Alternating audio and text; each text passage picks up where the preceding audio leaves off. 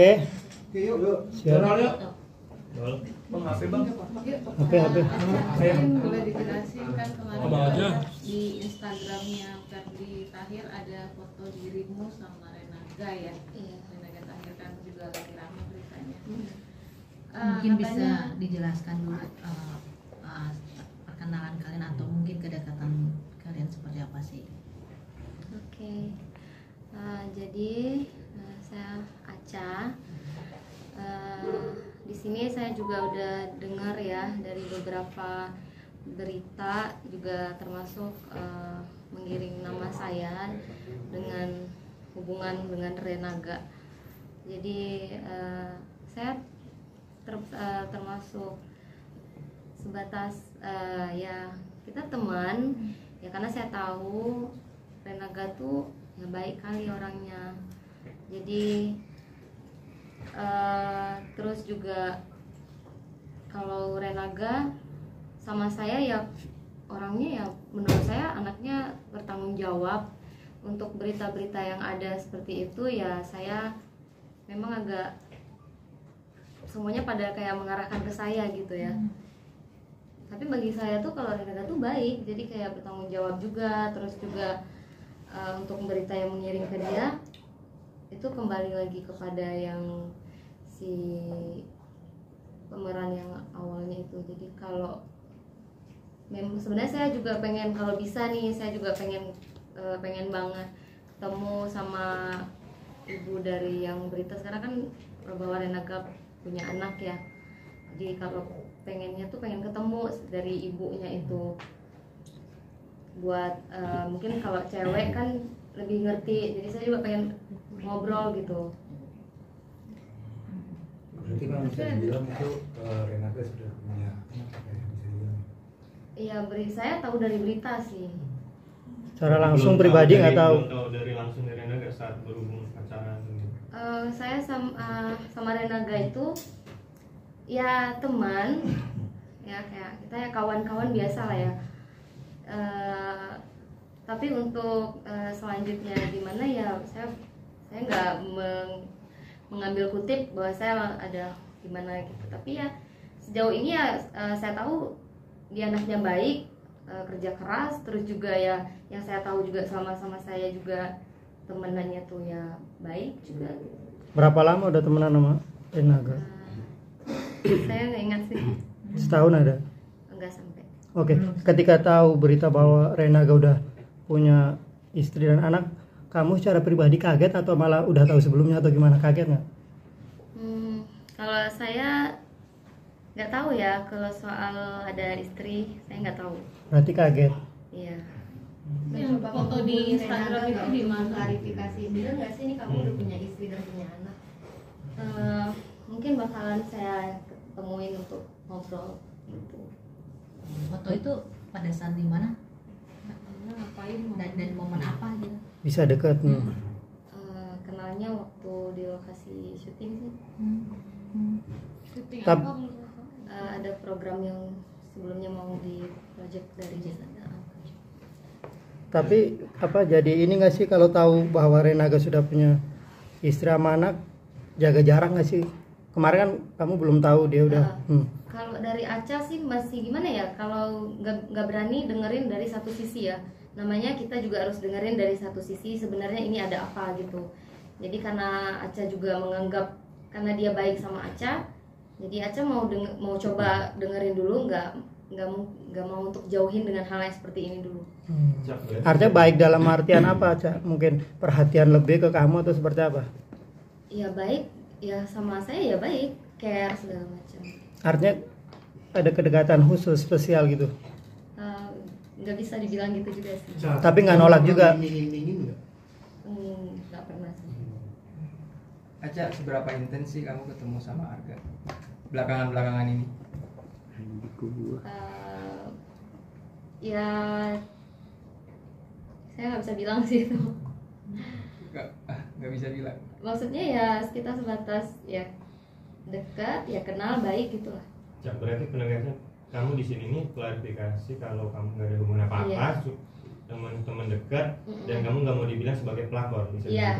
dan di sini aja juga mau bilang eh, bukannya mau maksudnya karena masalah ini Aca mau promosi diri sendiri enggak di sini eh, Aca juga sebagai penyanyi tapi Aca nggak mau diiringi opini bahwasannya mungkin Aca dibilang sebagai pelakor atau dibilang sebagai perebut laki orang dan sebagainya. Karena Renada sendiri juga sekarang beritanya lagi sedang udah punya istri atau anak. Karena sebenarnya Aca belum tahu masalah itu dan baru tahu baru-baru ini kalau ini ada anak gitu.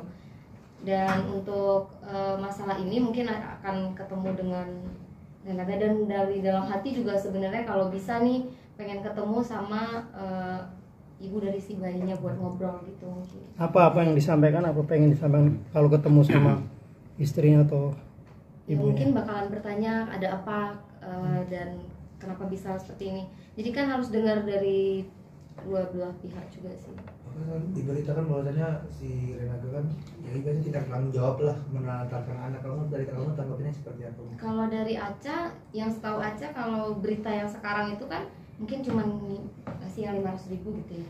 Yang sekarang lagi Aca baca kan di Instagram tuh cuma pernah ngasih lima ribu gitu menurut Aca kalau dikasihnya segitu ya mungkin dengan dia lagi juga berjuang masih muda masih ada tanggung jawab sih karena ya yang selama yang Aca tahu tuh dia anaknya baik tanggung jawab tapi kalau dapat opininya seperti ini ya balik lagi harus ini mana yang benar juga Aca bingung Tapi kalau sama kamu sendiri temannya tuh suka apa ya? Mungkin suka ditraktir juga kan mungkin sama Renaga. Iya. Lagi main suka ditraktir. Agak kaget sih dengan isu yang maksudnya dia nggak tanggung jawab atau sebagai macam karena ya taunya dia anaknya juga mau kerja mau eh, sama orang juga semuanya care nggak sombong. Ngeliat dia juga gitu. Sudah Nah, ngajak pakai ngajak. apa ngajak? udah. Apa eh, respon saat kamu ketemu orangnya barengan juga di lokasi syuting. Dia pernah ngechat kamu atau ngajak ngedate atau jalan bareng gitu? Eh, ada sih Berapa kali?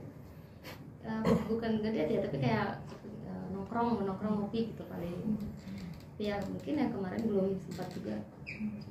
Dampaknya Terakhir komunikasi kapan? Pernah menggoda kamu nggak? Terakhir komunikasi sama kalau dibilang menggoda nggak sih? Makanya aku bilangnya itu kalau dia baik kenapa nggak ada men- eh, mengarahkan ke menggoda sih? Lebih tepatnya ke lebih care peduli. Kemarin juga ada sakit segala macam dia kayak ngucapin eh, buat kayak cepat sembuh gitu doang kayak apa jangan-jangan udah pacaran kak sama Rena kak nggak bisa dibilang gitu juga sih nggak bisa dibilang gitu Dampaknya seperti apa sih kak ketika diisukan sebagai pelakor? Iya, dampaknya netizen netizen ya pastinya juga nyerang ke Instagram Aca. Terus juga kayak ngomong, oh mereka ngiranya tuh Aca udah tahu masalah ini. Oh ini ceweknya yang tahu masalah, eh, udah tahu dia punya anak gitu. Biasa lah. Pokoknya kalau bangun tuh ngeliat udah banyak banget diserang. atau mungkin ada renc- rencana Rena ke ke depan mau nikahin kakak kayak Soal itu saya nggak tahu jauh banget. nggak sempat ngutarakan kayak gitu nggak Rena Belum Nggak belum, serius nggak ada. untuk Iya. serius belum sih belum tahu ya gimana soalnya ini juga kaget kan baru gini langsung dapat berita gini Ya kalau kabar itu benar, kalau Renaga memang menelantarkan anak, kamu akan mundur menjauh atau gimana? Eh, untuk menjauh enggak tapi kalau untuk sebagai kayak teman yang masih care ya semua orang punya masalah pribadi masing-masing nggak mungkin langsung kita judge satu orang cuma karena masalah itu kita menjauh enggak sih Nggak takut makin dibully nantinya? ya gimana ya baik nggak baik tetap dibully kayaknya kalau ya netizen ya nggak bisa di dihentiin ya Keluarga gimana kak? Keluarga gimana tanggapannya? keluarga saya Hmm. Nelpon sih nelpon kayak nanya kenapa gini gini gini teman juga tanya ada apa gitu ya nanti diselesaikan lah pasti bilang gitu dong Nah, tapi dari hati kamu sendiri ngerasa kecewa gak sih sama Renata? Soalnya udah deket terus tapi dia nggak jujur gitu. kecewa Iya. pasti kecewa ya maksudnya karena apalagi berita ini kan saya juga perempuan tahu gini atau dibilang nggak tanggung jawab tahu gini itu pasti ya kita ngerasain juga karena kita perempuan ke- eh, di ke depannya apa sedang ada proyek yang berjalan dengan atau seperti apa sih Lu? ke depan Ya ada proyek yang sedang berjalan atau gimana? oh belum ada cuma sebatas kemarin Oh. aja Berarti belum ada omongan soal proyek yang kemarin foto itu ya? Mm-mm. mungkin kalau uh, untuk nyanyi mungkin karena Aca juga penyanyi kan mungkin bakalan ada project bareng nyanyi Oh ada. dalam Ada. waktu dekat atau masih Uh, di- mungkin di tengah-tengah nggak terlalu lama nggak terlalu dekat Cak, Cak, eh, sampai saat ini sih sendiri sempat- sudah sempat klarifikasi belum sih? belum sih mungkin hari ini kalau apa mungkin bakalan ngobrol juga klarifikasi Untuk ngasih tahu yang sebenarnya gitu. iya soalnya ya ya pasti ya uh, shock juga karena ya dibully juga sama orang Oh, gitu iya. kayak Aca juga datang ke sini eh, ke Jakarta untuk kayak mau ya penyanyi sebagai penyanyi tapi tiba-tiba jadi dapat buliannya itu sebagai pelakor atau apa gitu kan ya pasti sedih ya. Jadi image-nya itu malah ke negatif gitu. Makanya agak ya oke okay lah